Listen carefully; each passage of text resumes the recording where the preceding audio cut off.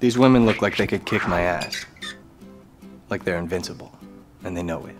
I want to know what that feels like. Spanx are something ladies wear. So, like, squeeze your fat in? I don't know where that fat goes. Truthfully, I think Spanx are kind of dumb. But I'm willing to cheat to look sexier. I'm curious and a little scared. Where does the penis go? These are Spanx. I'm gonna try them on.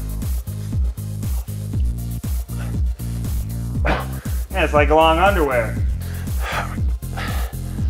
Very, very masculine. Very, very strong straps. It feels like a French person is hugging you. Oh yeah. Like in an intense way. I got you, I got you. Ooh.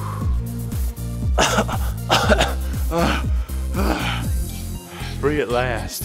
Where does it go?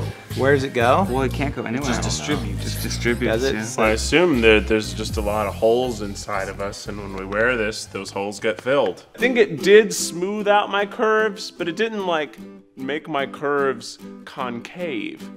All in all, I was let down. Now that the shirt's tighter, it's it's clearer that I may not be the fittest man. I feel like a mime. Like I can only communicate with my body. I'd wear this out under my clothes.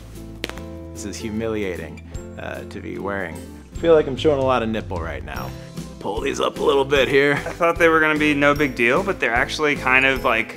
I like the the sleekness. I feel. Really, I feel like if anything I do, I would be faster. at. Dance and dance and bounce.